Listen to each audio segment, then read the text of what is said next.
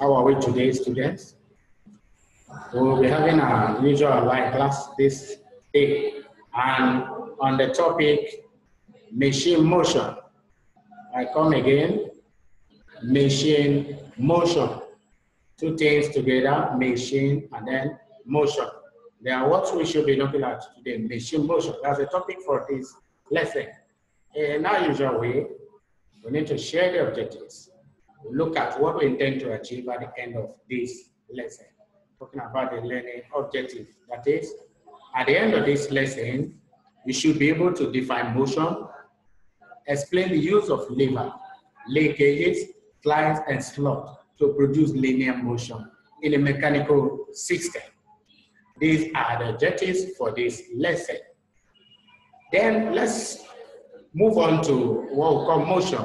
You will recall that we treated straight line motion in our last term work and then rotational motion or circular motion in a circular manner.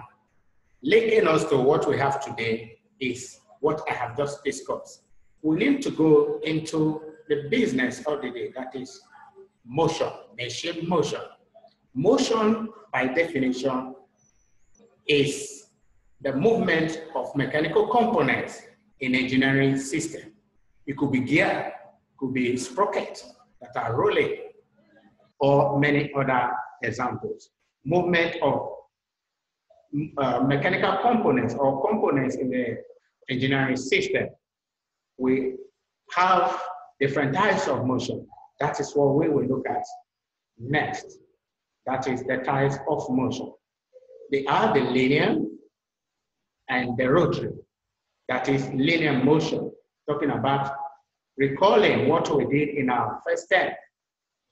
That is linear straight line motion. Then we have another one, rotary motion. Straight line motion means motion in a straight line. Then rotary motion means motion in a circular manner. Then we need to look at the types of linear motion or forms of linear motion. That is what we want to look deep into. There are one way, that is going forward and no reverse. One way, two, and there is no throw. That is having forward movement and there is no backward movement. Something going forward and does not come backward. Then the second one is a reciprocating or to and fro. That is two-way or to and fro or reciprocating linear motion, having both forward and backward movement. I give you an example. You have the handle or the fingers of your clock, second hand or minute hand or hour hand of your clock that on like this, one way rotary motion. Then you have the tire or wheel of the motor car that can go front and then have a reverse. With a reverse gear, can also rotate and turn back. That is a reversible to and fro.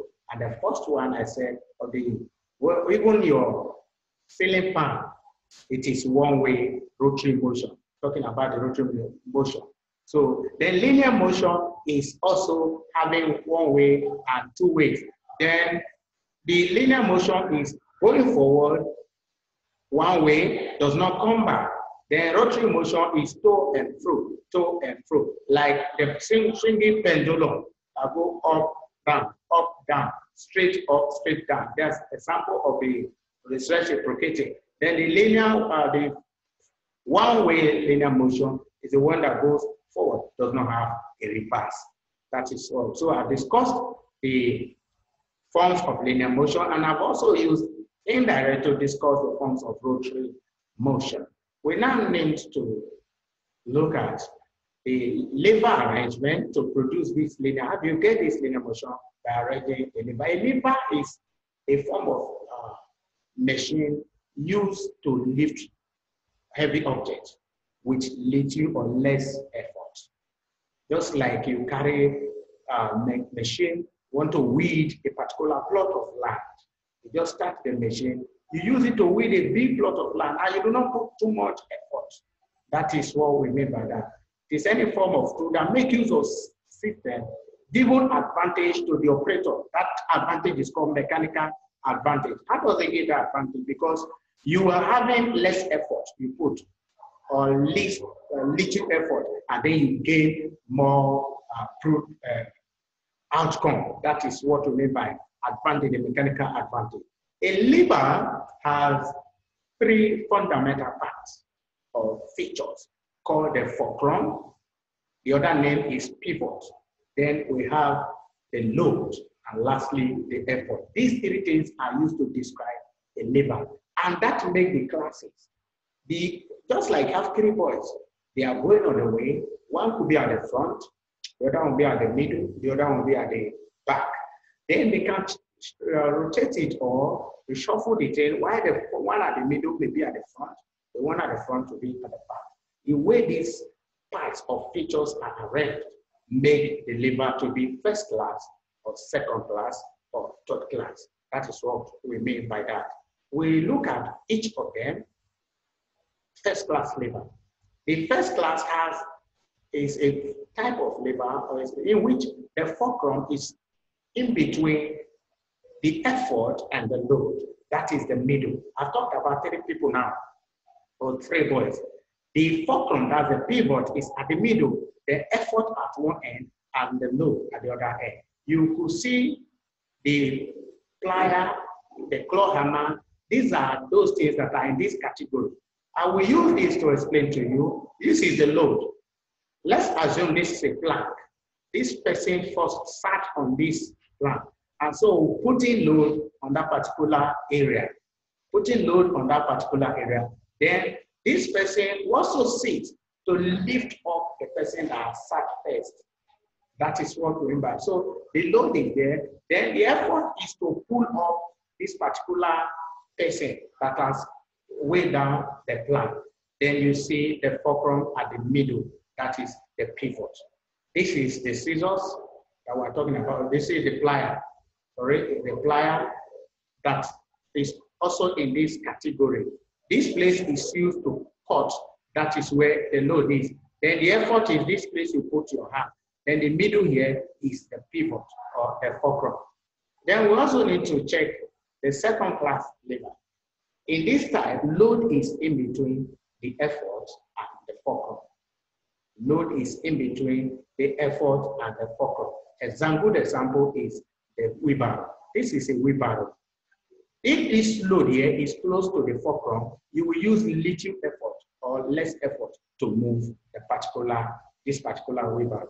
This is the load at the middle, this is the fulcrum, this is the effort we are talking about. The load is at the middle in between effort and the pivot or the fulcrum. That is the second class lever. Then we look at the third class, we have first class, second class, and the third class. This one, the effort is between the fulcrum and the load. Just reshuffling them or changing them. Effort now is at the middle, then load here is uh, fulcrum is here. This is where you put your hand. This is the effort. This is where you put the left hand to be able to lift up the sand or whatever that you put here. This is the effort here. Then this is the load that you put, and then this is the fulcrum. So the load is at the end here, or the effort rather is between the fulcrum, the pivot, and the load. That is the third class. Then we have another one here, the forearm of the human body. That is a very typical example. This is a very typical example. Then we need to look at the linkage. Is the arrangement of so that uh, like metallic parts, such a way that there's connection at least two other bars are joined or each bar, one bar is connected to two other bars. One iron bar is connected to two other bars. They are used to convert rotary motion to linear motion. Let us look at the types of linkages or forms. Differential, three bar, three, one, two, three, four bar, five bar, six bar, and toggle linkage. These are the forms of linkages that we have. I will also give you an example of this, this a four bar linkage that we have, we're talking about here. I will give you only this example. I do not have a time to too much talk about others. Then you see the way it is arranged, one crossing, one crossing here, this is two, and then there's another two at the back there. That's what we mean. Then we have the slides. Slides are too designed to produce linear motion. I will give you the types of, they are just produced, that's the work they are tools produced to produce linear motion. What are the types of slide? I will talk about the dovetail slide. This is dovetail slide. They are rugged position units. They, they can be powered manually or, uh, or, or whatever way you want to do them. They are specifically used in positioning appliances where occasional movement is needed. They, when you just like lock and key, these slots receive the slide. The slides are fixed into a slot, like mechanical, uh, just in a movement. These mechanical components now, the slides are fixed into the slot. This is dovetail. Then we have another one called the linear hardware uh, slides. Hardware, we, we have the linear guide. This hardened wing slides then we have the linear guide slide. The hardened way, this one is used to carry heavy loads when heavy loads are needed or expected. It has a standalone machine. You can see this place here. You can see this place here is a bit stronger, or not even a bit stronger than the first one. We saw that the dovetail slide. Then we have the next one I talked about, that linear guide slide. It consists of stainless steel bars. You see the bars here. These are stainless steel bars, and then carry the place that carry the load, the place that carry the load. Then you use it to deliver smooth motion with no noise, doesn't make noise, just like a belt drive. We also need to look at the other type, that is, this one is not a type of slide, but it's called accessory. Just like you have phone you have phone that you use, they have the phone accessory, what you use to couple them. So this one they use, uh, they are like switch that I use at right angle drive to on or off the movement of that particular uh, mechanical system. That is the use of the accessory. They are used to couple them. Then the slots, lastly, are the space, like I've said. They are the space where you fix the slide, just like the lock and key.